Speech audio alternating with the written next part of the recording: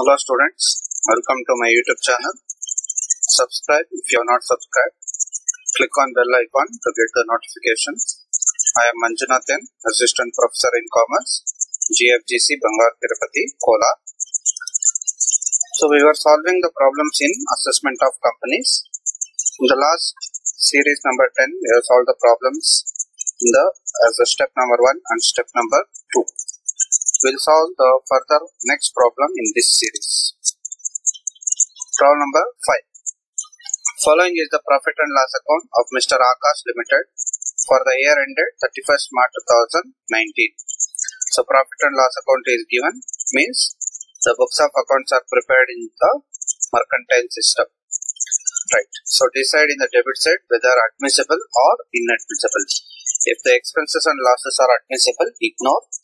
So expenses and losses inadmissible ಆದ್ರೆ ಅದನ್ನ add ಮಾಡಬೇಕಾಗುತ್ತೆ. First cotton so purchase of cotton allowed ignore stores it is also purchases allowed ignore mills salaries and wages so ಇಲ್ಲಿ ನಮ್ಗೆ ಗೊತ್ತಾಗುತ್ತೆ, ಇದು cotton textile industry ಆಗಿದೆ. So ಯಾರನ್ನ cloth cloth waste ಎಲ್ಲ ಸೇಲ್ ಮಾಡಿದ್ದಾರೆ, ಮತ್ತೆ ಕಾಟನ್ ಪರ್ಚೇಸ್ ಮಾಡಿದ್ದಾರೆ ಸ್ಟೋರ್ಸ್ ಸೊ ಕಾಟನ್ ಬಿಸ್ನೆಸ್ನ ಈ ಕಂಪನಿ ಆಕಾಶ್ ಲಿಮಿಟೆಡ್ ಮಾಡ್ತಾ ಇದ್ದಾರೆ. So mills salaries and wages allowed general expenses allowed donations disallow ಆಗುತ್ತೆ ಆಡ್ ಮಾಡಿ. ಏಟಿ ಜಿ ಅಲ್ಲಿ ಡಿಡಕ್ಷನ್ ಕ್ಲೈಮ್ ಮಾಡಬೇಕು. ನೋಡೋಣ ಏನಾದ್ರು ಫರ್ದರ್ ಡೀಟೇಲ್ಸ್ ಕೊಟ್ಟಿದ್ದಾರೆ rates and insurance so business assets ಆಗಿರುತ್ತೆ. ಆಗಿದ್ರೆ ಅಲೌಡ್ ಇಗ್ನೋರ್ ಹೌಸ್ ಪ್ರಾಪರ್ಟಿ ಬೇರೆ ಅಸೆಟ್ಸ್ ಮೇಲೆ ಏನಾದ್ರು ಇದ್ರೆ ಅದನ್ನ ಡಿಸಲ್ ಮಾಡಬೇಕು.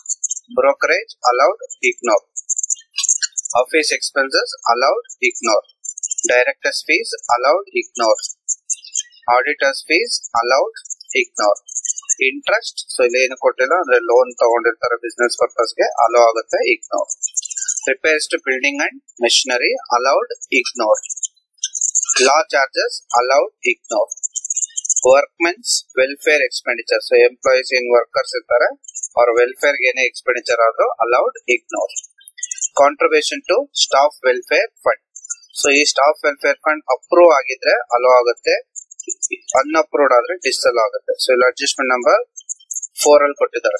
Staff welfare provident fund is recognise by the government so ಇಲ್ಲಿ ಸ್ಟಾಫ್ ವೆಲ್ಫೇರ್ ಫಂಡ್ ಕಾಂಟ್ರಿಬ್ಯೂಷನ್ ಇರೋದು ಅಲೋ ಆಗುತ್ತೆ ignore managing agents commission allowed ignore net profit so subject to depreciation ಕೊಟ್ಟಿದ್ದಾರೆ. ಸೊ ಇದನ್ನ ನಾವು ನೆಟ್ ಪ್ರಾಫಿಟ್ನ ಕನ್ಸಿಡರ್ ಮಾಡೋಣ. Ascertain the companies taxable income from business.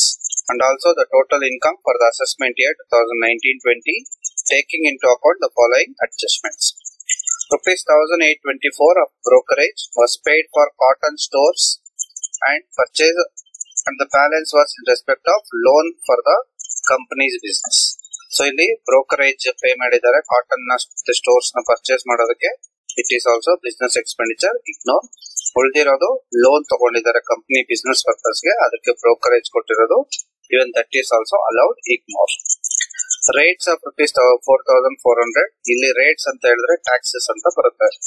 So insurance rupees two thousand five hundred repairs to building five thousand seven forty four were in respect of house property let out to employees so ಇಲ್ಲಿ ಏನು property let out ಮಾಡಿದ್ದಾರೆ so ಈ let out ಮಾಡಿರೋದನ್ನ ನಾವು ನೋಡ್ಕೊಳ್ಬೇಕಾಗತ್ತೆ. So ಇಲ್ಲಿ rent of house property ಅಂತ ಕೊಟ್ಟಿದ್ದಾರೆ. ಸೊ ಇಲ್ಲಿ ರೆಂಟ್ ಆಫ್ ಹೌಸ್ ಪ್ರಾಪರ್ಟಿ ಇದೆ. ಸೊ ಇದು ಲೆಟ್ ಔಟ್ ಅಂತ ಕೊಟ್ಟಿದ್ದಾರೆ. ಸೊ ಇಲ್ಲಿ further house property let out so ಅದು ಎಂಪ್ಲಾಯೀಸ್ ಒಂದು ಚೇಂಜ್ ಆಗಿದೆ.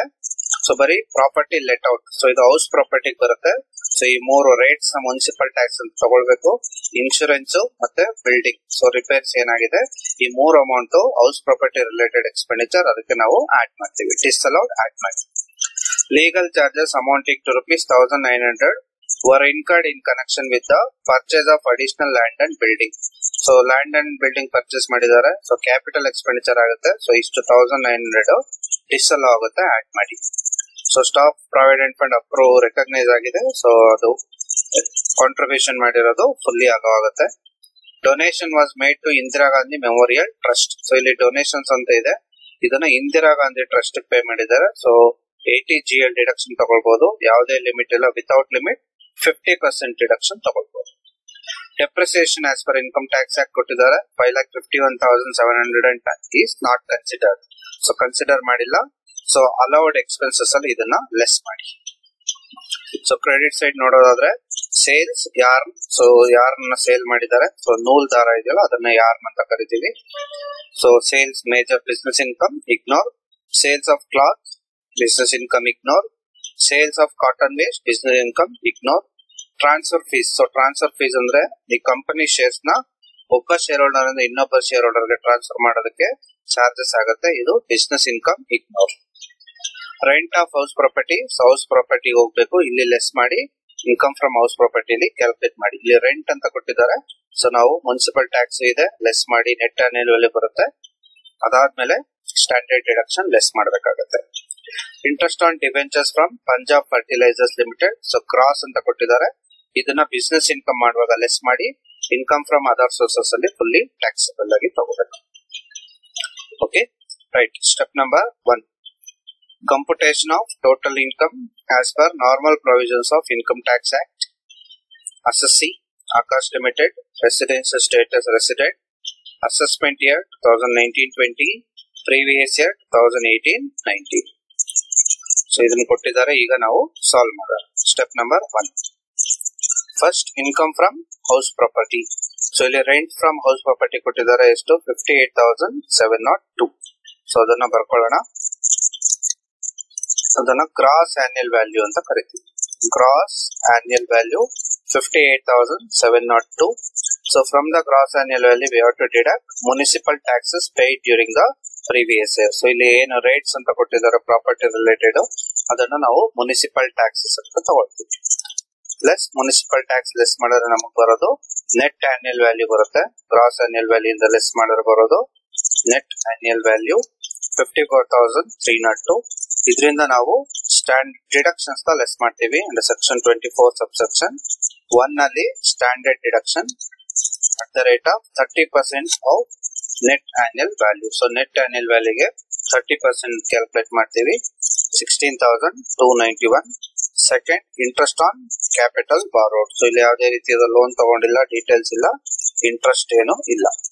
ಸೊ ಬ್ಯಾಲೆನ್ಸ್ ಉಳಿದಿರೋದು fifty four thousand three three zero two ಅಲ್ಲಿ sixteen thousand two ninety one ಆದ್ರೆ ಉಳಿದಿದ್ದು ತರ್ಟಿ ಏಟ್ ತೌಸಂಡ್ ಲೆವೆನ್ ಇದನ್ನ ನಾವು taxable income from house property ಅಂತ ತಗೋತೀವಿ. ಇದನ್ನ ಔಟರ್ ಕಾಲಮ್ ತಗೋಣ next taxable income from business ಇದನ್ನು ನಾವು ವರ್ಕಿಂಗ್ ನೋಟ್ ಅಲ್ಲಿ ಕ್ಯಾಲ್ಕುಲೇಟ್ ಮಾಡ್ಕೊಳ್ಳೋಣ.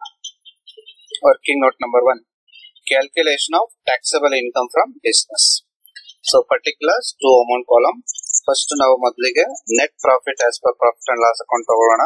ಸೊ ನೆಟ್ ಪ್ರಾಫಿಟ್ ಕೊಟ್ಟಿದ್ದಾರೆ twenty five lakh fifty five thousand five hundred ಇದು. ಇದಕ್ಕೆ ನಾವು ಯಾವ್ದಾವ್ದು ಇನ್ಅಡ್ಮಿಸಿಬಲ್ ಎಕ್ಸ್ಪೆನ್ಸಸ್ ಇದೆ, ಅವನ್ನ ಆಡ್ ಮಾಡಬೇಕು. Add number one inadmissible expenses debited to profit and loss account so ಏನೇನು inadmissible expenses first one donations donations ಇದೆ. Amount Indira Gandhi foundation ಕೊಟ್ಟಿದ್ದಾರೆ ten thousand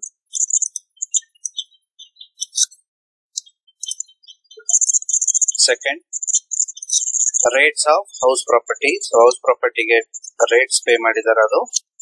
insurance of house property ಎಲ್ಲ ಹೌಸ್ ಪ್ರಾಪರ್ಟಿ ರಿಲೇಟೆಡ್ ಅದಕ್ಕೆ ಇಲ್ಲಿ add ಮಾಡ್ತಾ ಇದೀವಿ. Repairs to house property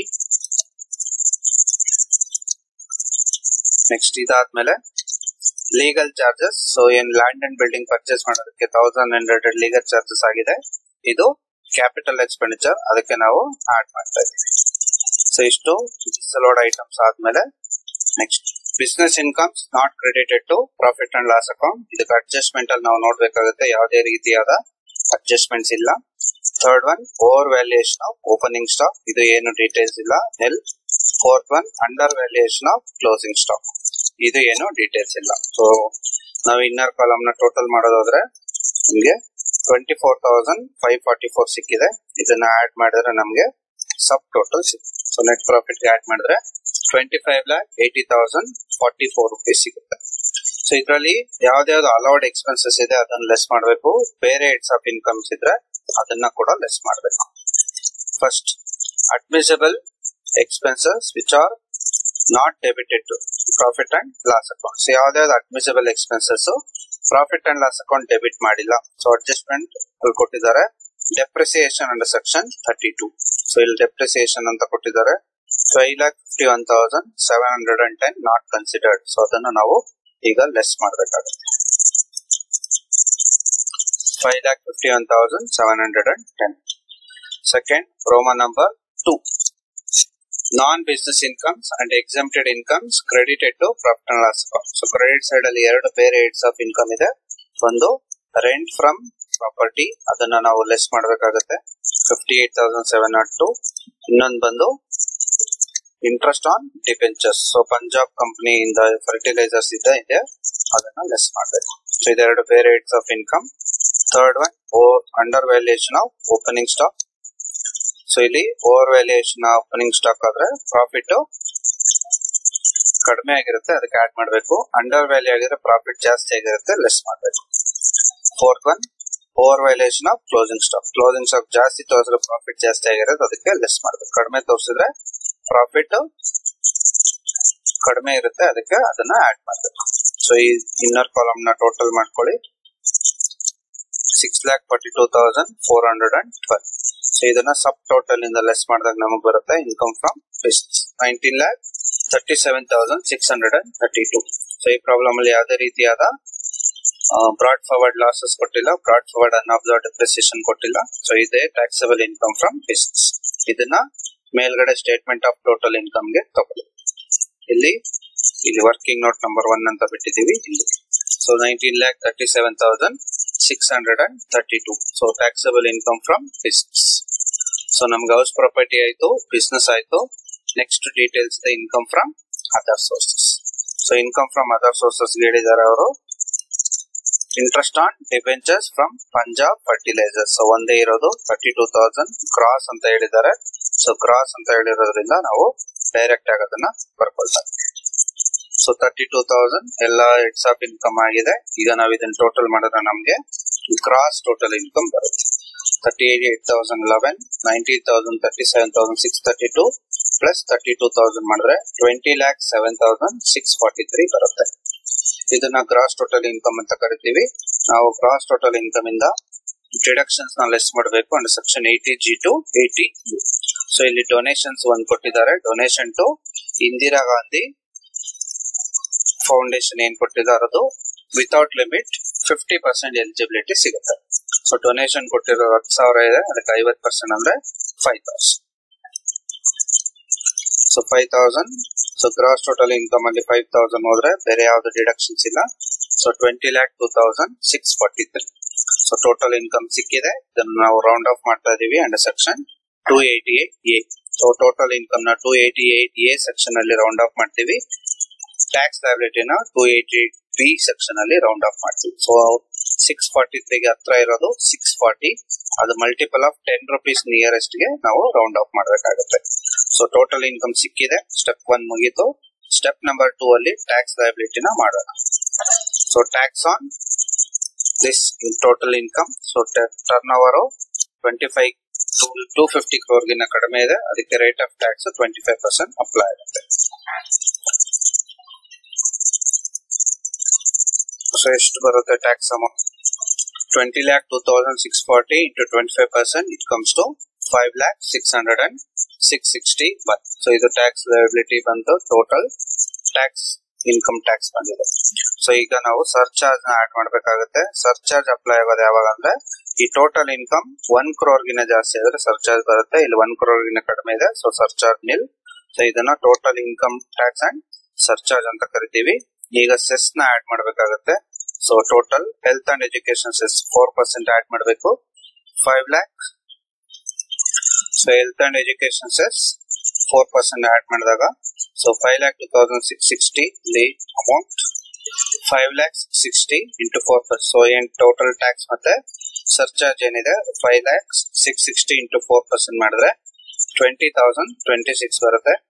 so ಇದನ್ನ ನಾವು ಆಡ್ ಮಾಡಿದಾಗ five lakh twenty two thousand six eighty six so ಇಲ್ಲಿ five lakh sorry five lakh six sixty ಅದಕ್ಕೆ four percent health and education cess add ಮಾಡಿದ್ರೆ ಟ್ವೆಂಟಿ ತೌಸಂಡ್ ಟ್ವೆಂಟಿ ಸಿಕ್ಸ್ ಆಗುತ್ತೆ. So five lakh twenty thousand six eighty six so ಇದನ್ನ ನಾವು multiple nearest of ಟೆನ್ಗೆ round off ಮಾಡಿದಾಗ six eighty ಸಿಕ್ಸ್ಗೆ six ninety rupees ಹತ್ರ ಇದೆ. So tax liability round off ಮಾಡ್ತಾ ಇದೀವಿ five lakh twenty thousand six ninety rupees so ಇದು total income twenty lakh two thousand six forty tax liability as per normal provisions five lakh twenty thousand six ninety rupees this is problem number one thank you